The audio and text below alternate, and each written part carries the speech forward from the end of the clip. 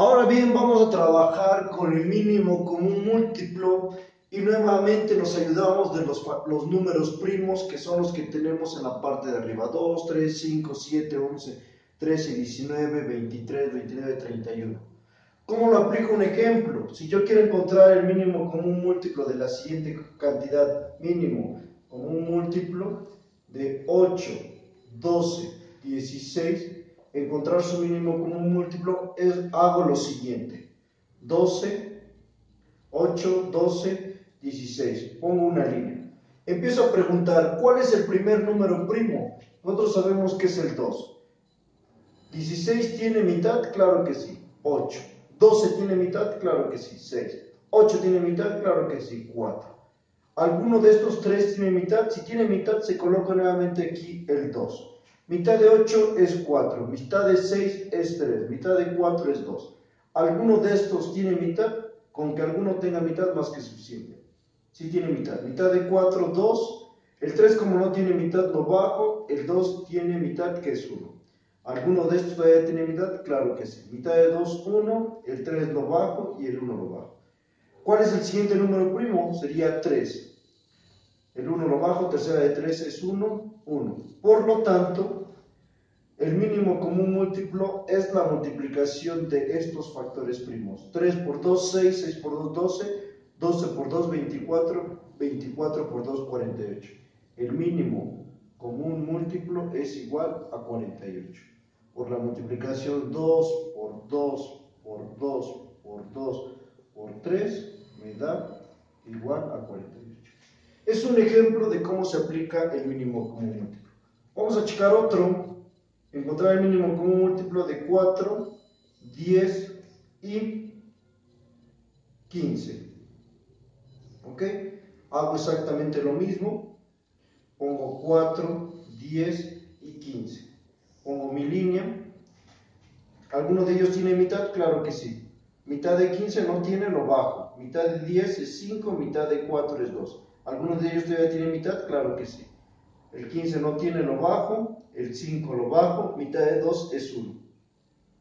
Checo si alguno de ellos tiene tercera y el 15 tiene tercera. 15, su tercera es 5. El 5 como no tiene lo bajo, el 1 igual. Tiene quinta 1, 1, 1. Multiplico 2 por 2 por 3 por 5 5 por 3, 15, por 2, 30, por 2, 60. Por lo tanto, el mínimo común múltiplo es 60. ¿Ok? Vamos a otro ejemplo más. Si yo tengo ahora 10, 20, 30 y 50, saco exactamente los números 20, 30 y 50 y aplico la misma regla. Empiezo a preguntar, ¿alguno de ellos tiene mitad? Claro que sí, mitad de 50, 25, mitad de 30, 15, mitad de 20, 10, mitad de 10, 5. ¿Alguno de ellos tiene mitad? Claro que sí. El 25 se baja, no tiene. El 15 lo bajo, no tiene. Pero el 10 tiene mitad, que es 5. El 5 lo bajo. ¿Alguno de ellos ya no tiene mitad? ¿Cuál es el siguiente número primo? Tercera. El 25 no tiene, lo bajo. Tercera de 15 es 5 bajo el 5, bajo el 5. El siguiente número primo es quinta. Quinta de 25 es 5. Quinta de, de 5 es 1. Quinta de 5 es 1. Quinta de 5 es 1. Y por lo tanto, todavía tiene quinta. 1, 1, 1, 1. El mínimo común múltiplo de 2 por 2 por 3 por 5 por 5 es igual 5 por 5, 25. Por 3, 75. Por 2, 150. Por 2, 300.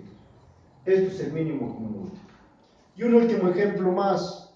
Si yo quiero sacarle al 14, al 7, al 14 y al 28, hago exactamente lo mismo. 7, 14 y 28. Pongo mi línea y empiezo a sacar los factores primos. ¿Alguno de ellos tiene mitad? Claro que sí. Mitad de, 28 es 14. Mitad de 14 es 7. 7 se baja. ¿Todavía tiene mitad alguno de ellos? Claro que sí. Mitad de 14 es 7. 7. 7 se baja. el siguiente número primo es 3, pero no tiene, el siguiente 5 tampoco tiene, me brinco hasta la séptima. Séptima de 7, 1, 1, 1. Multiplico 2 por 2, 2 por 2 por 7. Entonces, por lo tanto, el mínimo común múltiplo es igual 7 por 2, 14 por 2, 28. Y con esto queda resuelto el mínimo común.